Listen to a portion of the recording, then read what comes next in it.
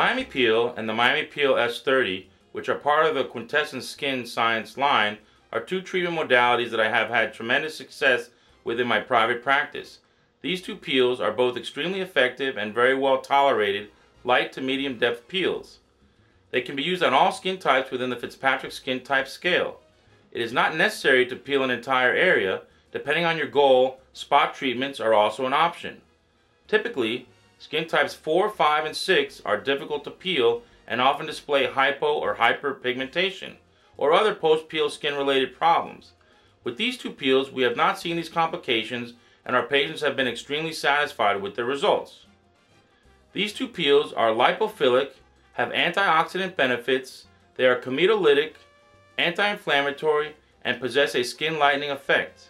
They aid in the effects of photoaging by improving fine lines and wrinkles while also being very effective addition to the therapeutic arsenal for treatment of melasma and post-inflammatory hyperpigmentation, secondary to acne and other skin conditions. The Miami peel is a layered peel and is left on the skin in order to potentiate its lightening effects. Let me introduce you to our medical esthetician, Beth Miller, who will guide you through these steps of these two peels. Hello, my name is Beth Miller, and I'm a medical assistant and licensed medical esthetician. I'll be guiding you through the Quintessence Skin Science Miami Peel. The Miami Peel is a layered peel that's used for its lightening, balancing, and toning effects on the skin and is a very effective anti-aging wrinkle reduction treatment. The bleaching agents together will reduce the appearance of melasma, hyperpigmentation, and photoaging. Up to five coats of the Miami peel may be placed onto the skin with a waiting time of approximately three minutes between each layer. The Miami peel is also beneficial for those who suffer from acne and have oil dry skin created by overwashing and overstripping the stratum corneum with excessive facial drying agents. Now, let's begin the Miami peel.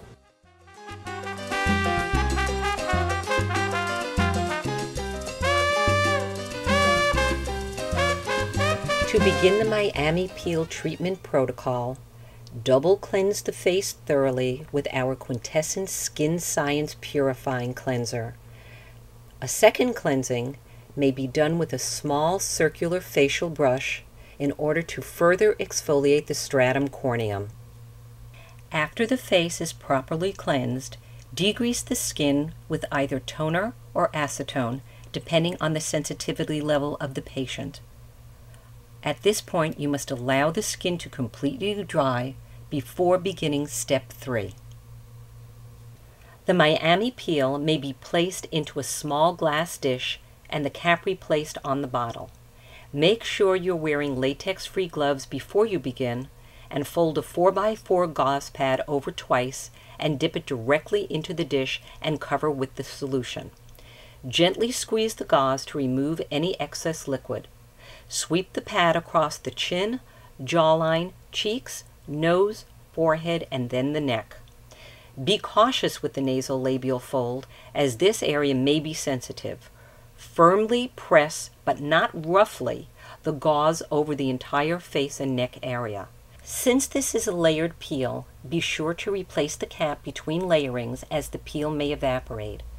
A facial fan may be used for patient comfort level. The depth of the peel is determined by how many coats are applied. We suggest one coat for the first treatment in individuals with sensitive skin and two coats for the initial treatment for all other patients. Each visit, the number of coats applied may slowly be increased for up to a maximum of five coats. A waiting time of approximately three minutes is necessary between coats. After the desired number of coats have been applied and are dry, apply the Quintessence Q Sunshade Sunscreen. The Miami peel is not removed. The patient leaves the peel on if possible until it's washed off the next morning with the Quintessence Skin Science Purifying Cleanser.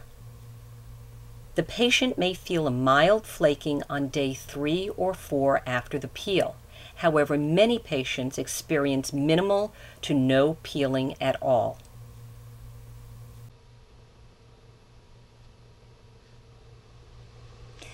Begin a gentle five minute facial massage using approximately five to seven pumps of quintessence serum C formula.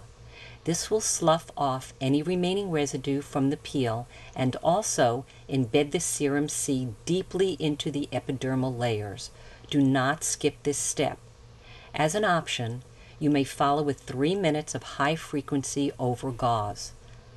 High frequency kills any remaining bacteria and helps close any opened areas, tonifies the pores, embeds the serum C deeply into the epidermis, tightens the skin, and gives it a radiant glow.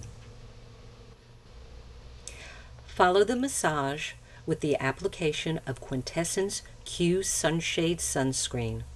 A small amount of the sunscreen may be placed onto the lower lids as well for further sun protection.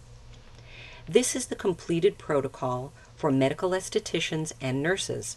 Physicians will typically only follow this protocol up to and including step 6, adding the sunscreen as a finishing for further protection after the peel. Hi, how you doing? Now you've had your peel. Your skin's a little bit rosy. It's going to feel a little bit tight, but that's normal. That's what we want. We're going to give you some instructions that we want you to follow at home.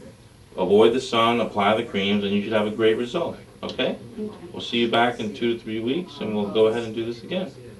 All right. Great.